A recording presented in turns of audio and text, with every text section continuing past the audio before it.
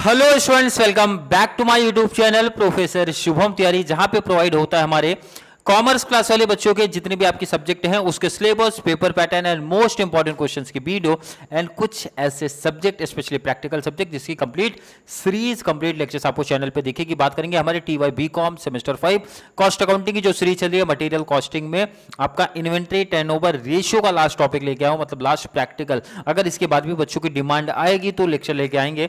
Otherwise मुझे लगता है इसके बाहर इन्वेंट्री टर्नओवर रेशियो का टॉपिक नहीं बनेगा। क्लियर है? बात करेंगे आपका topic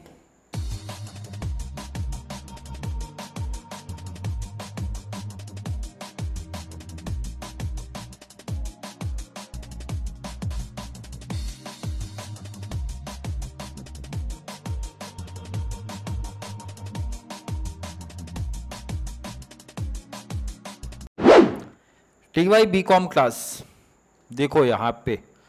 जो प्रीवियस क्लास देख के बच्चे आए हैं ना, वो तो समझ गए होंगे।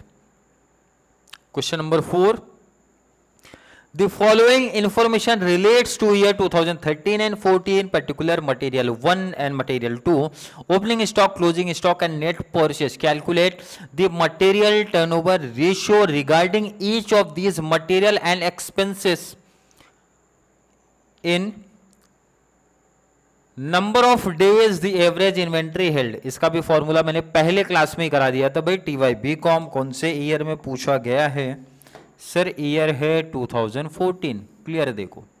ऑलरेडी जैसा मैंने आप लोगों को प्रॉमिस किया T Y B com class आप लोग का टॉपिक होने के बाद प्रीवियस ईयर जितना भी क्वेश्चन पेपर मेरे पास अवेलेबल है कंप्लीट कॉन्सेप्ट आपको करा के दूँगा। क्लियर है?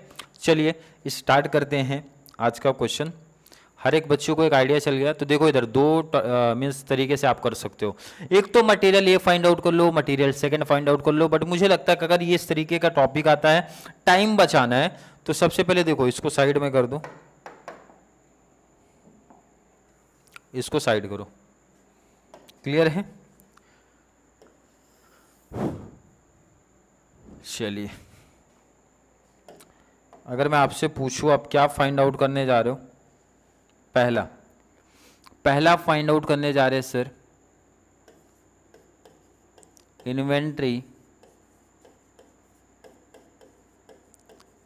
turnover ratio inventory turnover ratio of material one and two material one and two का है। क्लियर है? पहले फॉर्मेट लिख लेते, बाद में क्वेश्चन से देख के सॉल्व करेंगे। अगर मैं बात करूँ पहला पहला यहाँ पे आ जाएगा सर पर्टिकुलर क्लियर है? मटेरियल आपका वन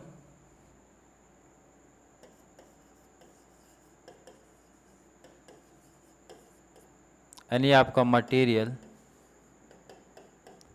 सेकंड क्लियर है? बिल्कुल क्लियर होना चाहिए हर एक बच्चे का।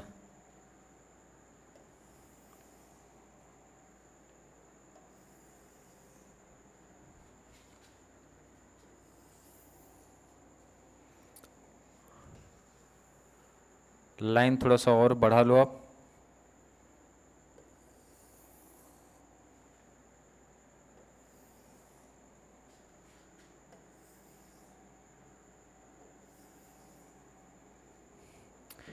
चलिए क्लियर है? आई होप फॉर एक बच्चे का क्लियर है। फॉर्मेट देखो, जब आप फॉर्मेट स्टार्ट करोगे तो आपका सबसे पहले आता है स्टेप वन स्टेप वन क्या रहेगा? अगर मैं आपसे पूछूँ स्टॉक टर्नओवर रेशियो या फिर इन्वेंट्री टर्नओवर रेशियो का फॉर्मूला क्या था? Sir COGS divide by average stock it means पहले हम लोग फाइंड आउट करेंगे सर सीओजीएस का कॉन्सेप्ट पहले फाइंड आउट आप क्या करोगे? स्टेप वन की अगर मैं बात करूँ स्टेप वन की जब मैं बात करता हूँ, पहले आप क्या फाइंड आउट करोगे? सिर्फ़ फाइंड आउट स्टेप वन में करना है कॉस्ट ऑफ़ गुड्स सोल्ड अगर मैं आपसे सीओजीएस का फॉर्मूला पूछूँ तो आपको अब तक याद हो जाना चाहिए, सर सीओजीएस का फॉर्मूला बोलता है परचेज परचेज में सॉरी परचेज नहीं, पहला हमारा क्या आएगा? पहला आपका आएगा ओपनिंग स्टॉक पहले क्या आता है सर, हमारा ओपनिंग स्टॉक इसमें आप ऐड करते हो परचेज एंड माइनस करते हो क्लोजिंग स्टॉक तो कुछ बच्चे बोलेंगे, सर डायरेक्ट एक्सपेंसेस किधर गया? तो यहाँ पे इस टॉपिक में हमारा तीन ही कॉन्सेप्ट है डायरेक्ट एक्सपेंसेस दिया नहीं है तो लिख के कोई बेनिफिट नहीं है। अदरवाइज़ आपको लिखना है तो आप लिख सकते हो, कोई प्रॉब्लम नहीं। ओपनिंग स्टॉक में क्या ऐड करते हो आप? परचेज और क्या लेस करते हो आप, सर? क्लोजिंग स्टॉक जिससे आपको क्या मिल जाएगा, अगर मैं आपसे पूछूँ कि आपको क्या फाइंड आउट मतलब क्या मिलता है यहाँ पे, अगर मैं बात करूँ क्या मिलता है, आपको मिल जाता है sir cost of goods sold यही मिलेगा ना टोटल बिल्कुल बिल्कुल बिल्कुल यही मिलना चाहिए। यही मिलेगा। बिल्कुल। क्लियर पहले फॉर्मेट अब लिख ले रहा हूँ, उसके बाद आगे बात बात करेंगे। स्टेप वन आपका कंप्लीट हुआ। स्टेप वन में आपने फाइंड आउट कर लिया sir COGS mean cost of good sold अभी वैल्यू यहाँ पे पुटअप करके आंसर फाइंड आउट कर लेना है। उसके बाद अगर मैं बात करूँ आपका स्टेप टू क्या होगा तो स्टेप टू होगा स्टेप टू स्टेप टू क्या आएगा? स्टेप टू आएगा सर बच्चे बोलेंगे। आएगा सर एवरेज स्टॉक इसको मैं यहीं पर हाईलाइट कर दूँ। क्या आएगा आपका? एवरेज स्टॉक क्योंकि फॉर्मूला तो यही था। COGS divide by average stock and average stock का अगर मैं फॉर्मूले की आपसे बात करूँ तो आपको याद होगा एवरेज का मतलब होता है sir opening stock opening stock में प्लस कर दो आप। Closing stock and divide by two ये फॉर्मूला था। ये डिवाइड करने के बाद आपको जो मिलेगा वैल्यू मिलने वाली है, वो क्या मिलेगी? अगर मैं आपसे पूछूँ, क्या मिलने वाली है वैल्यू मिल गया आपको एवरेज स्टॉक किसी बच्चे को कोई डाउट कोई कन्फ्यूज़न इसमें बिल्कुल नहीं होनी चाहिए। कोई डाउट कोई कन्फ्यूज़न नहीं होनी चाहिए। क्लियर है? एवरेज स्टॉक अगर मिल गया तो इजीली आप फाइंड आउट कर सकते हो ना। आपका third step step third step third क्या आता है सर? टॉपिक हमारा जो भी है। क्या टॉपिक है अगर मैं आपसे पूछूँ? टॉपिक क्या है? टॉपिक है sir inventory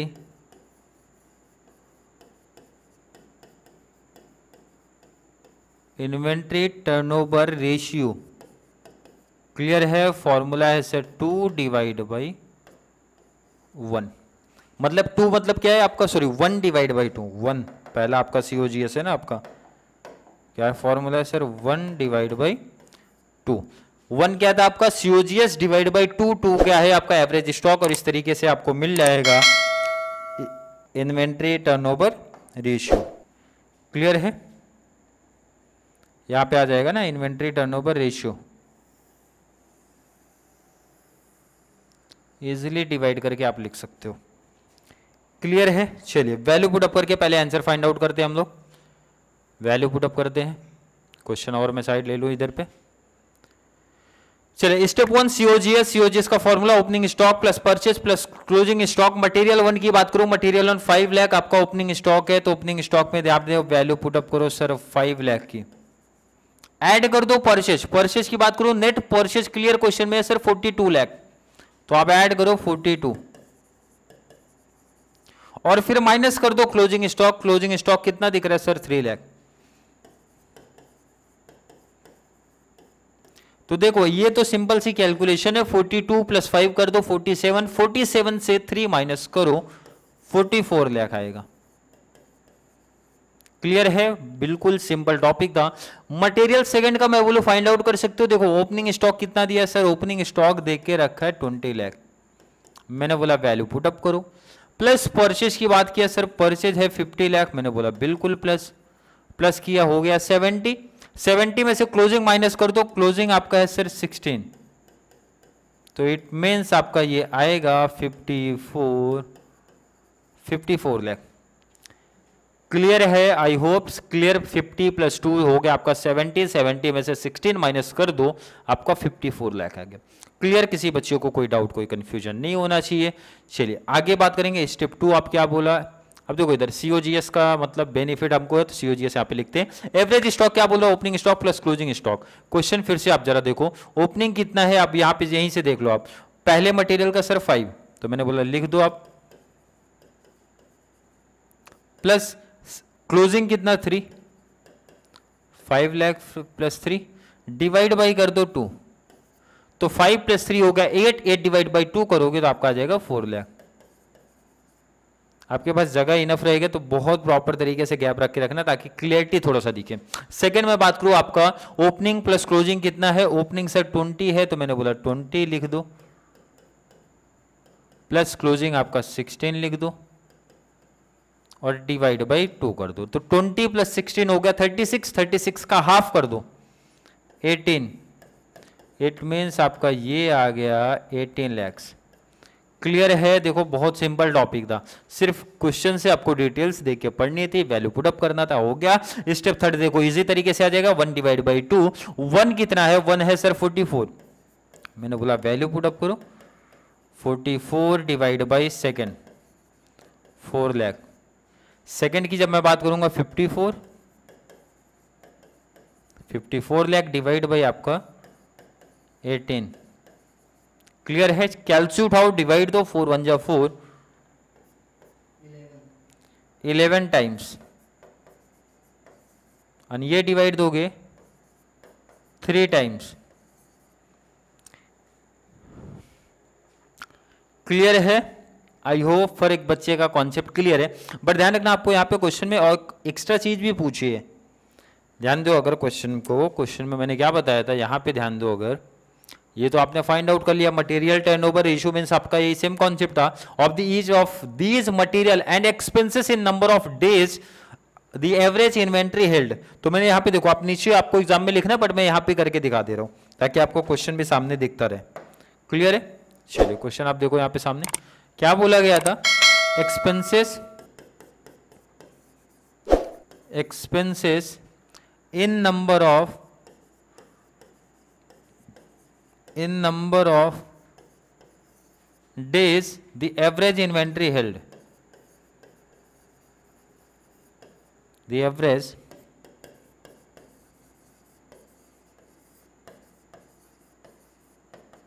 held अगर मैं आपसे फॉर्मूला पूछूँ फॉर्मूला क्या था? तो मैंने बोला था, बहुत सिंपल सा फॉर्मूला है भाई 365 डेज़ एक एवरेज काउंट किया जाता है 365 अगर हमारा लीप ईयर को हटा दो, क्योंकि लीप ईयर में आपका 366 आता है तो लीप ईयर को आप इग्नोर करते हैं 365 डेज़ लेते हैं divide by divide by inventory turnover ratio ये आपका फॉर्मूला है। अगर मैं वन की बात करूँ, अगर मैं वन की बात करता हूँ तो वन का ध्यान से देखो। वन का क्या हो जाएगा formula sir 365 divide by inventory turnover ratio one का क्या आया? वन का आप बताओ यहाँ पे। इलेवन तो आप यहाँ पे वैल्यू पुटअप करो, इलेवन। एंड अगर मैं सेकेंड का आपसे पूछूँ 365 ये तो कॉमन ही रहेगा। डिवाइड बाई क्या करो सेकेंड थ्री है तो थ्री कैलसी उठाओ। और दोनों का डिवाइड करके बताओ कितना आ रहा है? चलिए फ़र्स्ट का कितना आया? ये आपका डेज़ इसको आप राउंड फिगर भी कर सकते हो 33.8 मीन्स आप लिख सकते हो सर 34 डेज़ क्योंकि डेज़ को बेसिकली पॉइंट में तो लिखा नहीं जाता.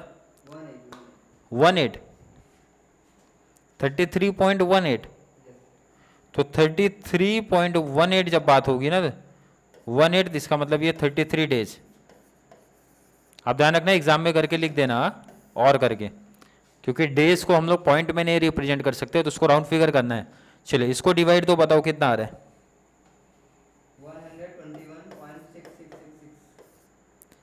Six six mean six seven days और अगर मैं आपको बोलूँ, भाई, इसको ऑप्शन करके दिखाओ दो तो ये वन ट्वेंटी टू डेज़ दिखाओगे आप। कैसे 122 डेज़ देखो आप पे 121.6 अगर पॉइंट के बाद फाइव या फाइव से ज़्यादा है तो एक डे को बढ़ा दो आप। फाइव से कम दिख रहा है वन दिख रहा है तो इसलिए मैंने डेट को नहीं है मीन्स डे आपका नहीं बढ़ेगा, वही कॉन्सेप्ट रहेगा। तो आप एग्ज़ाम में ध्यान रखना, ये मैंने जैसा बताया, ये दोनों आंसर एग्ज़ाम में लिख देना। नंबर कट करने का एग्जामिनर को चांस ही नहीं मिलेगा कुछ। क्लियर है? देखो, ये क्वेश्चन मैंने आपका प्रीवियस ईयर का करा दिया।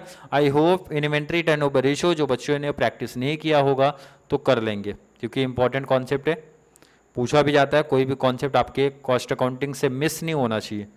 जितने भी कॉन्सेप्ट है, आपको पढ़ के होना चाहिए। इन्वेंट्री टर्नओवर रेशियो में इसके बाहर मुझे नहीं लगता कोई टाइप्स बचता है, या फिर किसी टाइप्स का और क्वेश्चन किसी भी, जैसे आपका एफ़ आई बैफ क्लास भी हो जाता है, उसमें भी नहीं पूछे, जो टाइप प्रीवियस लिया था, वो उनके एग्ज़ाम में आया था, या आप लोग के एग्ज़ाम में आया है। तो इसी लेवल का क्वेश्चन अगर इन्वेंट्री टर्नओवर रेशो पूछेगा तो यही लेवल का क्वेश्चन आपसे पूछेगा।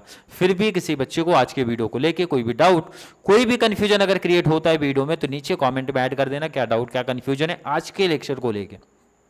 या फिर वीडियो थोड़ी सी वेलफुल लगती है तो वीडियो को लाइक करना, अच्छे अच्छे कमेंट ऐड करो और जितना ज़्यादा पॉसिबल हो सके चैनल का लिंक हमारे कॉमर्स सेक्शन वाले बच्चों को शेयर करते रहो ताकि उनको इस चैनल के थ्रू बहुत बड़ा एडवांटेज मिल सके। तो चलिए, मिलेंगे नेक्स्ट क्लास में जहाँ पे हम लोग बात करेंगे आपके रिमेनिंग बचे हुए टॉपिक्स के बारे में। तब तक के लिए थैंक यू सो मच